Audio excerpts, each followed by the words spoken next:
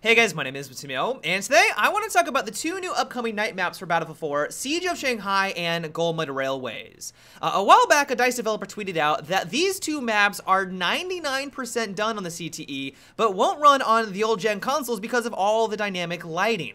Some people took this quote for meaning, holy crap, the old gen consoles are holding back development. Does this now mean that we're never going to get these maps at all because it won't run on the old gen systems? This is awful, I'm upset, what the hell is going on? And while I can see why they're upset because I wouldn't want this to happen as well, uh, I don't think this is actually going to be the case, and more likely than not, yeah, they won't appear on the old gen systems, but that does not mean that they won't be coming to PC or Xbox One and PlayStation 4.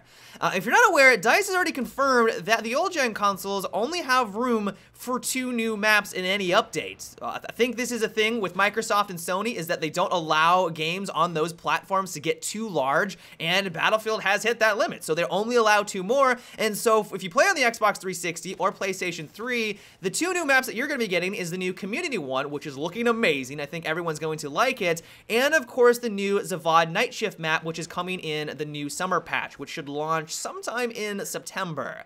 Uh, the reason why this is important is that the new Dragon Valley map, the classic map that's being reintroduced into Battlefield 4, isn't even being developed for these old gen systems.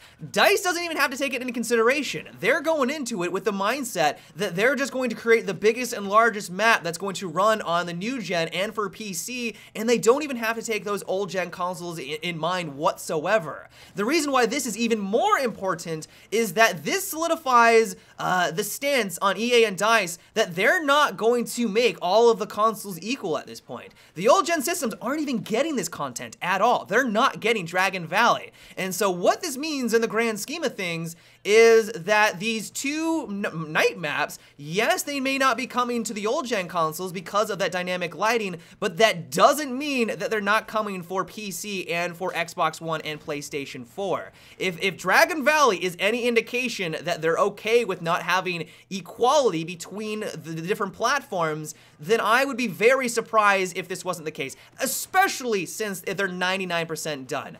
And while this isn't definitive proof that we will be getting these two new maps, I scoured the internet for a while trying to find a tweet or a source that could verify that yes, absolutely, we will get we will be getting these two new maps in an update. I think from all of the evidence that we just kind of talked about, uh, it is sort of safe to say that eventually we will be getting these in an update. It's sad to say that they won't be coming to the old gen consoles, but at this point, they're very old. They just do not have the hardware capabilities to even do stuff like this. And so while it does suck, I think it would suck even more if the new gen consoles and PC weren't able to experience these amazing maps. Uh, the next thing I wanted to talk about is that the Phantom Bow looks to be getting possibly two new arrow types. Uh, I was running around on the CTE and some of my viewers mentioned uh, that the Phantom Bow now has fire arrows and poison arrows. The first time I heard about this, I got really excited. I don't know if you guys are aware of this, but I love the Phantom Bow. I hate the defensive field upgrade, kicks it right in the teeth. Like, I love this thing, but I hate the defensive field upgrade, but the proposition of having two new arrow types to play with sounds amazing. Like, I thought this could be a really cool way of having different playstyles when you were using the Phantom Bow. Sadly, they're absolutely terrible. Uh, the fire arrow, for example, is cool. You, you fling it out, and it's basically incendiary grenade. If you hit anywhere near an enemy, they get lit on fire, or as long as they stand in it, they take damage. But it doesn't act as an incendiary, or at least to the best of my knowledge, where if you hit them and they run out of the fire, they don't can take continuous damage after that. Like, as long as they stay in it, they take about 10 damage every second, but as soon as they get out of the flames, they're good to go. The, the poison arrow is even worse. I don't know if it's just not implemented correctly at this point, but I fired numerous shots at enemies, and every single time I died to said enemy, it only did 34 damage. It did, never seemed to tick damage on the on someone. It just seemed to only do 34 damage, and that was it. I, I, I, don't, I don't know what they were going for here. And so maybe this was just something that they added to the CTE for people to play around with because it fits that jungle theme map a little bit. A poison arrow fits flawlessly in that jungle environment. But if they did this right, I think having just more arrow types could be a really unique way of having just a lot of fun with this with this primary weapon. Uh, for example, maybe if you hit someone with the poison arrow, it does a lot of damage over time. Like maybe if they don't reach a med bag after 10 seconds, then they die. That gives them 10 seconds to find you out and kill you, but if you're that sneaky little assassin and you're able to pick someone off at a distance, yeah, you don't instantly kill them, but if they're not able to, to get help from their teammates and they're not able to find a med bag, then after that 10 seconds, they're gonna fall down to the ground.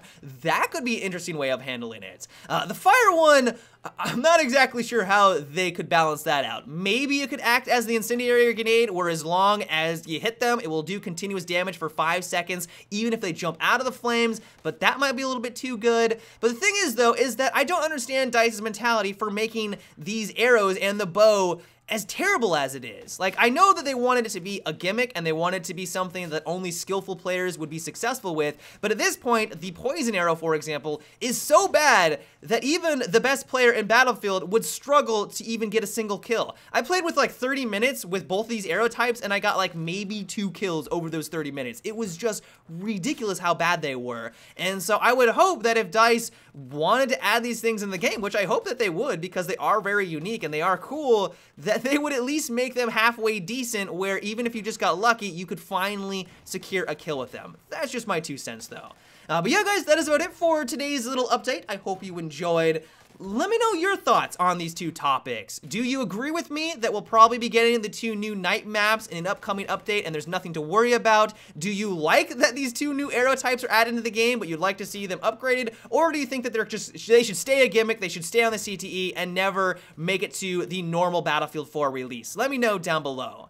Uh, but yeah guys, until tomorrow, have a good one and take it easy.